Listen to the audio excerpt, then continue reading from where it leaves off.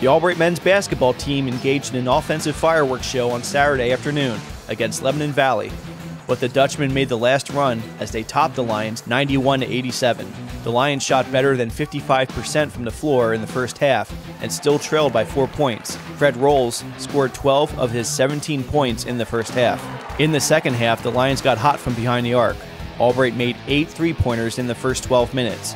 The final two of those three pointers, both by Brandon Lindsay, stacked the Lions to a 10 point lead. His second three pointer gave Albright an 81 71 lead with 8.01 to play.